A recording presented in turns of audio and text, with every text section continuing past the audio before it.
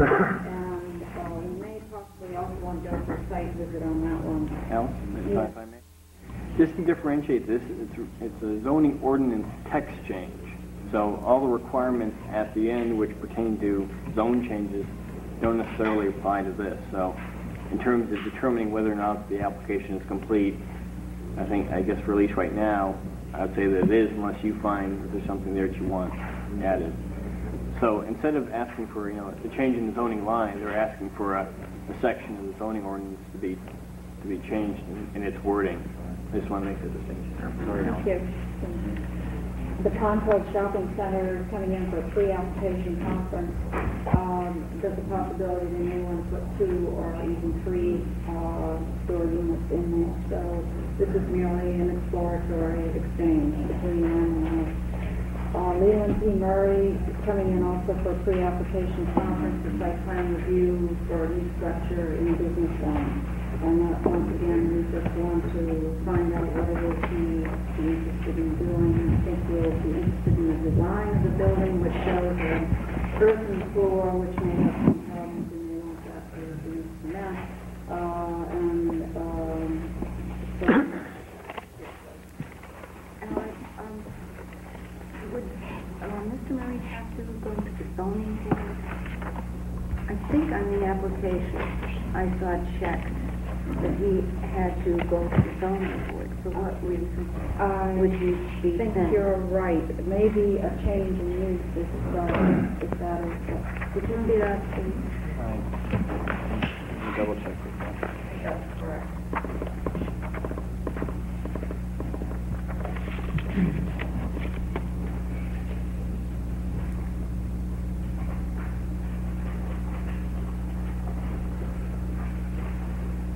If this is a business zone, that was my question, then why would he have to appear?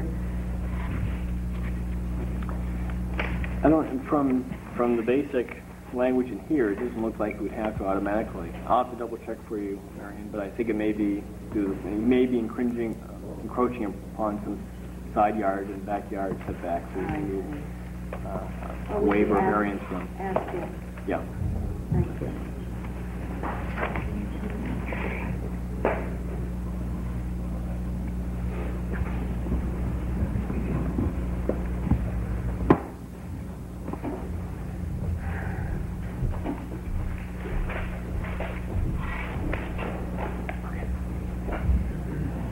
Will the meeting of the Cape Elizabeth Planning Board please come to order?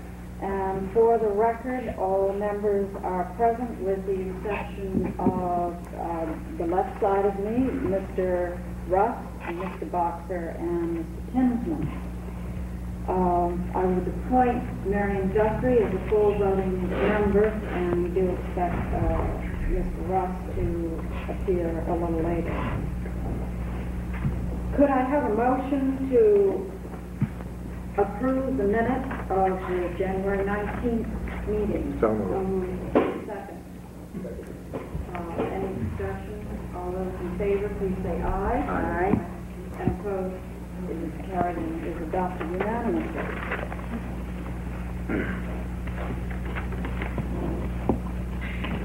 We do not have uh, any correspondence that I know of uh, in new correspondence that came in tonight. We are expecting a report uh, from IEP uh, to be delivered. However, you have some handouts, one of which is an Army Corps of Engineers uh, booklet just telling what the procedures are for that. Um, And also, you will find a proposed guideline for municipal shoreline zoning ordinance, uh, which was from the state, and I've highlighted uh, in pink the areas which I think are pertinent to, relevant to our discussion tonight. Under old business, uh, because we are lacking a secretary, uh, tonight she's escaped to a warmer place where we might all rather be. I would like to ask that any participants in tonight's uh, meeting, please come forward and identify yourselves and try to speak as clearly as possible. because we are dependent on our tape recorder to get all the words, every golden word down. And uh, the first item of business is FS Plummer, which is a proposal for a resource protection zone change. This is on Eastfield Road, and uh, this will be a public hearing um, before us tonight. I would like to again reiterate, if you would be very careful about coming up and identifying yourselves before you speak, tell what street or road you live on, and um, that will help the secretary reconstruct this meeting. If you also would be kind enough to ask any questions or go through the chairperson, that would be helpful. I would now open the public hearing.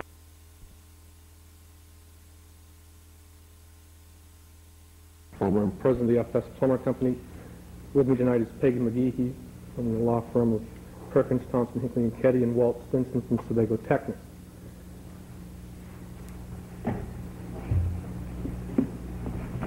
We're here for a uh, zone change request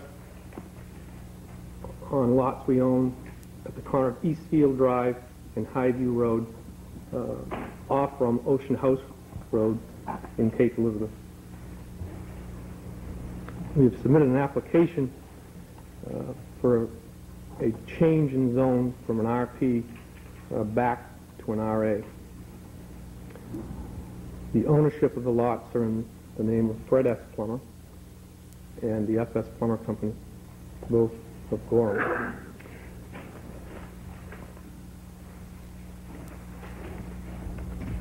I'll hold this up so the public can see this. I, I would, I think you've been through this before. Uh, This is a portion of a map, section three of Eastfield subdivision. Uh, Ocean House Road being out here, Eagles Cove Road being here, Eastfield Road being here, Highview Road being here, and the ocean being down here.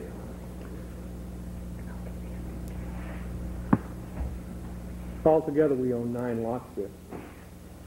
Tonight, we're asking for a zone change that affects uh, five of those lots.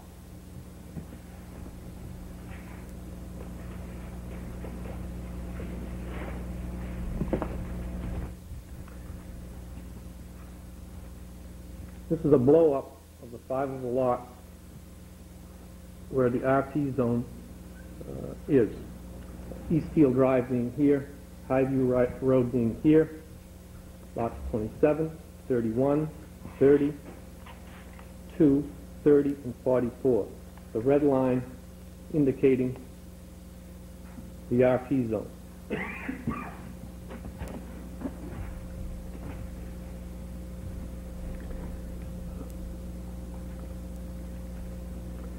Those lots are shown on tax map 42. Section 3 of this subdivision was approved on December 10th as an approved subdivision in 1964. To get, altogether, there are around 28 other lots that are either built on or being built on now. The plan was approved for Dorigo Builders, Inc. uh, back in 1964. Dorigo Builders, Inc. was liquidated in 1975 in good standing uh, with the Secretary of State of Maine. Our request to the Planning Board is to remove the designation from these lots. Uh, This board is being asked to recommend to the Town Council that this be done. Uh, And I'd like to emphasize, we'd like to, our request is to put it back to an RA zone that it was prior to the RP zone designation. It was not until 1987 that we learned that these lots uh, had been designated as an RP zone. We were not apprised of these reclassifications by the town, and we also uh, made periodic, periodic inquiry about these lots as being buildable lots over the years. Uh, we actually took title to those lots. The Plummer company took title to those lots in the late 60s from Dorigo Builders, Inc. The rezoning is in effect prohibiting us from constructing single-family dwellings on these lots. The lots, I emphasize, were given prior approval by this board uh, back in 1964.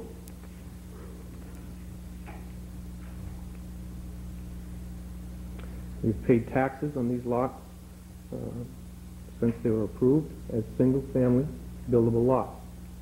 We in fact feel that the soils will support uh, a build- building of homes on those lots. At this time, the lots are served by sewer and water.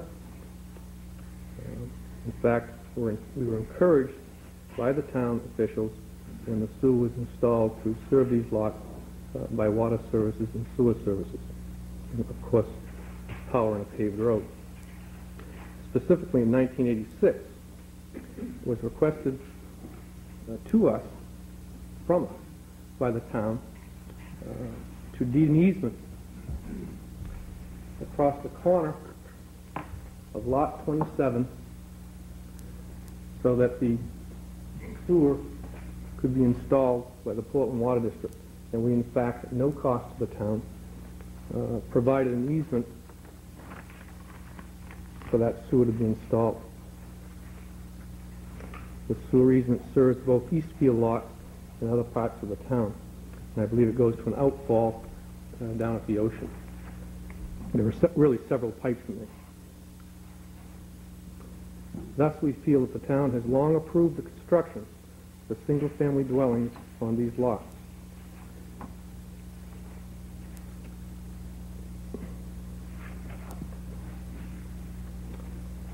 It has done this even after the 1982 uh, rezoning of those lots, as late as 1986. And that was represented to us and to myself uh, at that time. We have relied on those representations uh, as owners of those lots to the point of deeding property away uh, for the use and benefit of the town of Cape Elizabeth and the Portland Water District. We think as a matter of fairness and equity, um, we should not be prohibited from building on those lots. The same reasons as listed above, we feel lots are grandfathered uh, for construction. We feel we have vested rights. As a personal note, we think that we can improve uh, the general vicinity of those lots. The lot, the nine lots are there, and the five in particular tonight are surrounded, basically, except on, on the ocean side, uh, by single-family, family residential subdivision.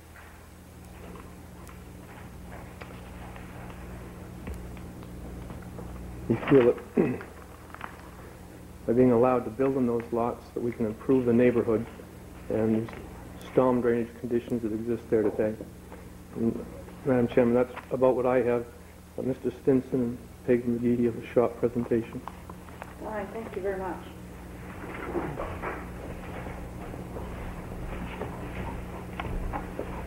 Madam Chairman, my name is Walter Stinson. I'm a, a civil engineer with a consulting firm of Sebago Technics. Uh, my firm was retained by the uh, Plummer company uh, to look at the lots in question uh, and to advise them uh, regarding the uh, sufficient soil conditions uh, on the site, uh, as well as to uh, give them uh, an opinion uh, as to uh, whether or not uh, we felt uh, the lots were buildable. Uh, in uh, starting our work, uh, we did uh, substantial research uh, both in the town records and uh, in some state documents uh, which uh, we had access to. And the first was the uh, medium intensity soil survey uh, which was performed by the uh, Soil Conservation Service. Uh, in that, one of the mapping units that's come under a great deal of attention in the town is the Sebago Mucky Peat classification.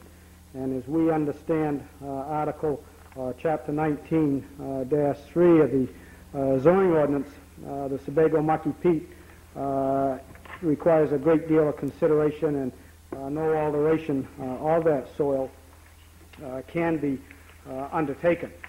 And and as we interpret, as we look at the resource protection zoning, which was done by the town, it appears to us that, at least in this area, the zoning followed very closely the SCS mapping designation in this area of Sebago-Mucky Peat. Uh, So that was our first area of consideration. Uh, This area uh, has been studied regarding the soil conditions, and as Mr. Plummer indicated, it was done when the town built the new sewer across Lot 27. Uh, At that time, it became apparent uh, that this line, if installed, uh, would go through an area that was mapped as uh, Sebago-Mucky Peat. And the town's consultant, uh, T.Y. Lin, uh, retained a uh, soils scientist to look at the route of the proposed sewer outfall and to advise them as to whether or not this area was Sebago-Mucky Peat.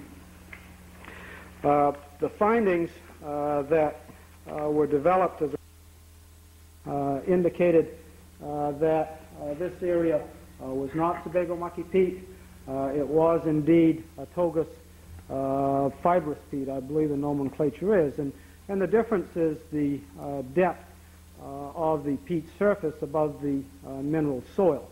Uh, To be a Sebago peat, uh, you need a minimum of uh, 51 inches of organic material.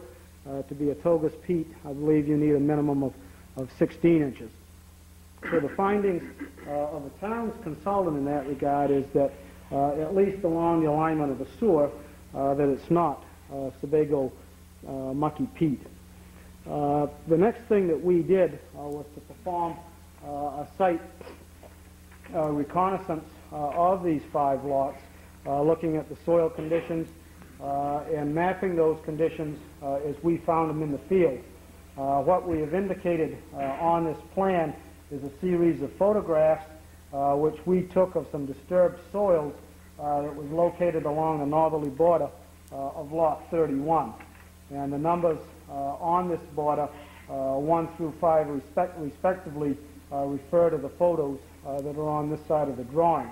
And basically, what we wanted to show with this, with these photos, is that there is not a deep layer of organic soils. And even though, uh, you know, the, the board may not be uh, certified soil specialist, I think that a layman uh, has an appreciation of what uh, an organic soil or a peat soil looks like. And, and what we're trying to demonstrate with these, with these photos is that we don't have the deep layer of the organic soils that are characteristic uh, of the uh, Sebago material. Uh, In fact, on Lot 31, in the area uh, which is encompassed in the RP zone, uh, we found that soil to be predominantly uh, fill, uh, probably recent fill that was placed uh, during some uh, recent construction in the area. And on lots uh, 31 uh, and 32, uh, we found, again, those soils to be more in line with the Togus uh, peat. Uh, Beyond the definition of the soil, I think it's important to look at the underlying uh, mineral layers uh, to get an indication of uh, the buildability of the lots.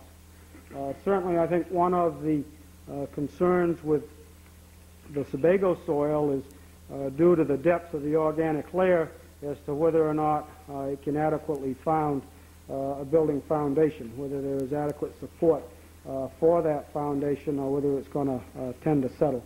I think that's a valid concern and certainly a, a concern to uh, Mr. Plummer as well as uh, any builder which would be, be building uh, in an area such as this.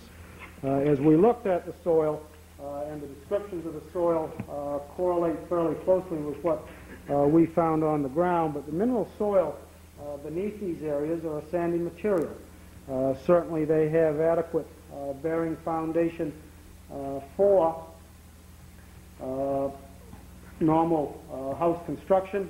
Uh, There obviously uh, needs to be uh, some attention given to the grading around the houses, uh, to the drainage around the houses. Uh, But given the fact that there is a storm drain uh, in Eastfield Road, uh, which outlets uh, down along the northerly side of Route 31, uh, uh, I'm sorry, Lot 31, it was our judgment uh, that the the lots are buildable from a foundation support standpoint. Uh, They're certainly buildable uh, from a drainage standpoint, and uh, in all likelihood, construction on these lots uh, wouldn't be considerably different than construction on many lots uh, in this state. The next thing that we looked at in performing our work was the wetlands maps that have been developed uh, by the uh, Department of Inland Fisheries and Wildlife. Uh, This area uh, is not mapped as a wetland. It doesn't show up on a state map. We also reviewed the Corps of Engineers regulations concerning wetlands as as we understand them and as we interpret uh, those regulations uh, to uh, construct homes on these lots would not uh, require uh, a Corps of Engineers uh, wetlands uh, alteration uh, permit.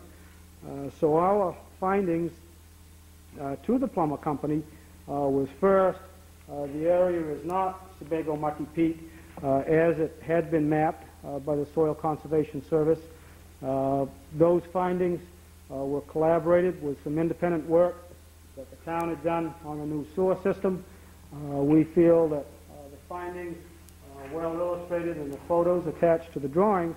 And our second finding uh, in relation uh, to this work was that uh, the lots uh, were buildable, uh, given uh, the underlying mineral soils on the lots as well as the uh, subsurface drainage uh, that has been installed on the site. Thank you. Mr. Gigi.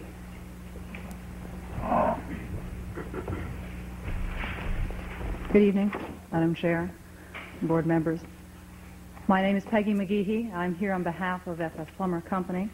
Um, We had made a pres- presentation at the last uh, informational meeting last month, but because this is now a public hearing and some of this information is new, we do feel that it's useful to go over, at least in a summary fashion, some of the points that were made.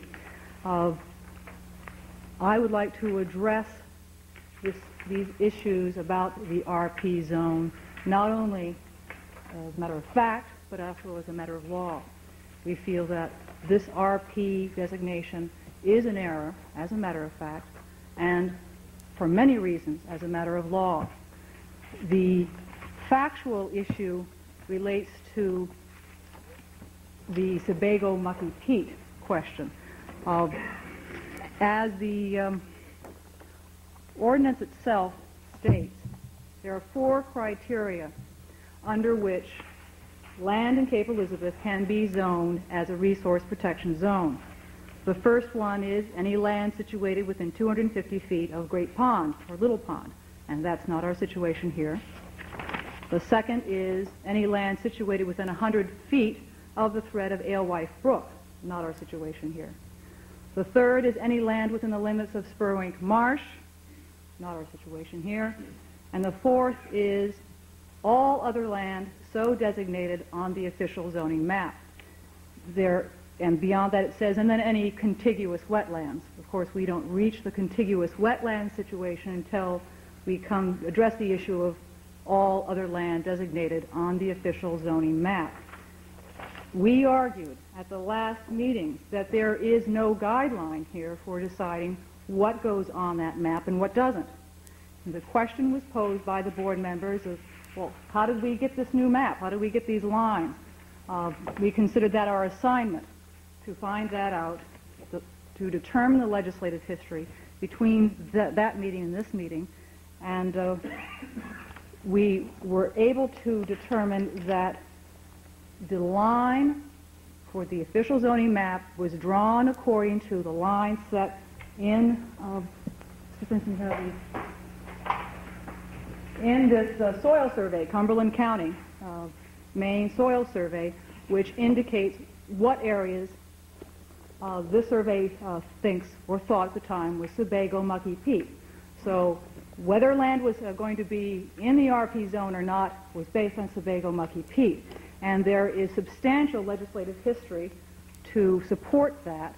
Uh, I would like to uh, submit for your review uh, that history, uh, certain documents which uh, we were able to obtain.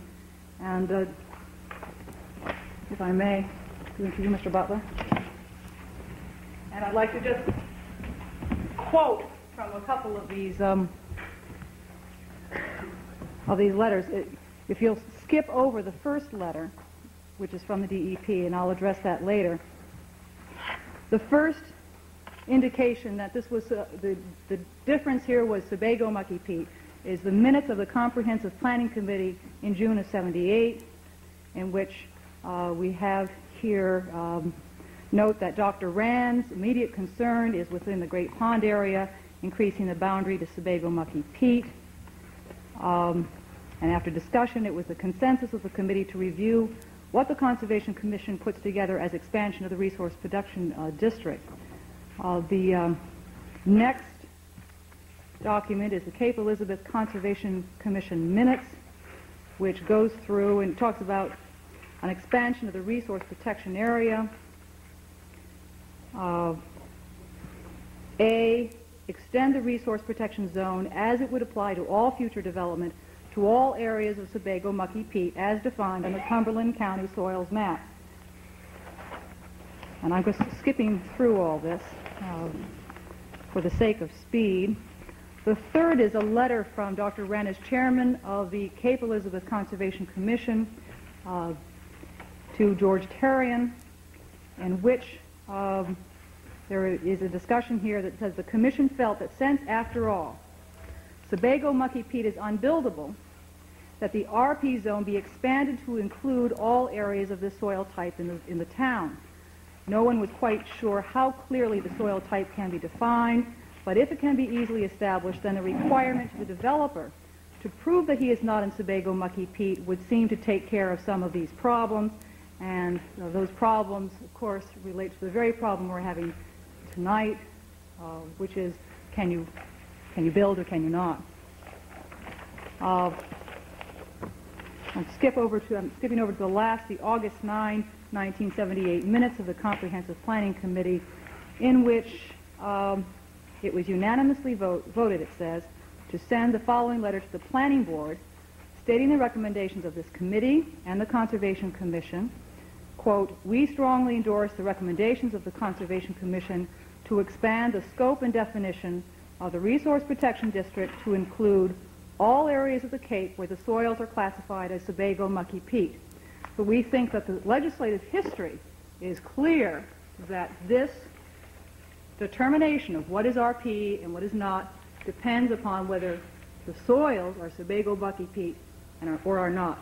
And we've had testimony from Mr. Stinson tonight that none of the land in these uh, five lots consists in any part of Sebago Mucky Peat, and that testimony has been corroborated by the town's own analysis when it put through the sewer. Thus, we feel that as a matter of fact, we have an error here. This should not have been zoned as an RP zone in the first place. The second issue we have is relates to a matter of law. We feel that the um, RP zone should be removed for a number of reasons. First, we had buildable lots that were rendered by imposition of the RP zone as non-buildable without any notice to FS Plummer Company. And this is despite the fact, as Mr. Plummer uh, uh, stated this evening, that there were affirmative efforts coming to the town hall asking once or twice a year, are we all set? Are there any uh, zoning ordinance changes to be concerned about? No, you're fine. Everything's buildable. Same thing when, uh, when the town and the Portland Water District approached FS Plummer Company and said, would you deed us an easement so that we can put through this sewer? And the question was, well, are, are we buildable? Yes, you're buildable. The easement was conveyed at no cost to the Portland Water District or the town. Excuse me. Yes, ma'am. Um, If we could confine the uh, presentation to non-legal arguments at this point, because we do have a letter, correspondence from Mr. Leahy, and this is a public hearing to allow uh, public comment, so if you could just confine to make... Uh, I would like to, if I can just summarize the points, because I do feel they're important. I have had a couple of long conversations with Mr. Leahy. I do feel that it's, it is, and I would think the board would feel it's responsibility to understand the legal issues, whether you have a taking or not, rather than to ignore those issues. And so the, Excuse me, we will not, it will not ultimately be ignored, that is going for a court to decide. We do have uh, our, our legal representative here representing the town, and Mr. Brett Bader, so if you could just briefly. Uh, Well, then what I will do then is just confine myself to the factual issues that have not been brought up that is uh, impact on the legal question. Not trying to skinny anything in, but uh, the, I did want to talk about the taking issue. We had presented uh, two letters to the board about the difference in the value of property. As you know, Eastern Appraisal Company has indicated that the value of the property at buildable lots is around $65,000 a lot. The value of the property as RP zones is somewhere around $400 a lot, which is a difference in value of over 99%. Uh, I also, we read recently that the uh, Cape Elizabeth Council turned down an offer uh, from the U.S. Fish and Wildlife Service to purchase 158 acres of the Spurwink Marsh at, a, at $74,200. And that was apparently their value, which comes up to about $470 per acre. Uh, so we do think that, that it's uh, important for the board to know that the, and here I am breaching the line somewhat, the standard in this state is whether land is going to be rendered substantially valueless by virtue of the imposition of a regulation like this. They look at the difference in value. 40%, 50% has been considered enough of a difference in value, and we certainly, with 99%, have reached, reached, reached that standard. Uh, in deference to uh, your uh, direction, Ms. Rand, I am going to forego the rest of my uh, legal arguments. Thank you very much. Uh, Mr. Palmer, did you have anyone else from your uh, We are done. par- party that you wanted to speak? Uh, If not, uh, the um, microphone is open to receive any comments from members of the public that might like